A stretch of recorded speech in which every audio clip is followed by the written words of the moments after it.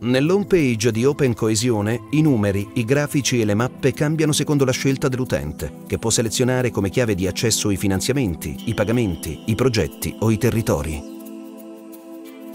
Cliccando nella mappa dell'Italia sulla Sicilia, vengono visualizzate solo le informazioni relative ai progetti localizzati nella regione. La mappa rappresenta i finanziamenti totali dei progetti con i valori maggiori concentrati nelle grandi città. In fondo alla pagina sono proposti alcuni indicatori statistici su base regionale, per ognuno dei temi in cui sono classificati i progetti. Selezionando il tema occupazione è possibile scegliere un particolare indicatore e confrontare la Sicilia con altre regioni italiane.